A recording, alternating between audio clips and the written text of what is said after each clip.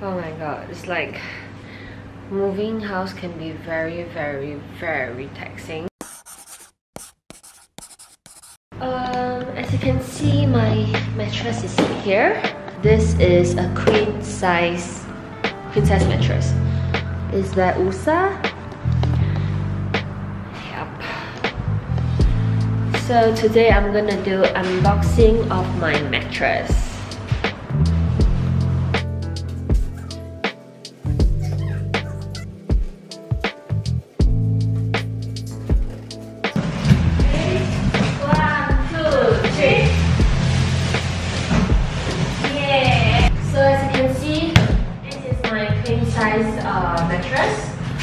It's being packed in a very compact box, a small box. In fact, it makes moving easier.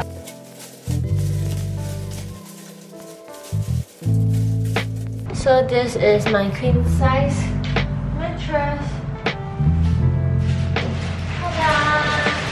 So my bed frame is not here yet. Um, apparently this is not the full size yet.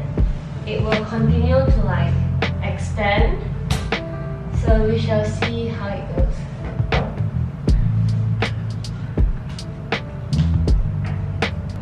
So the thing about moving house is you will not get all your things like delivered all at the same time. So my mattress is here but my bed frame is not here yet.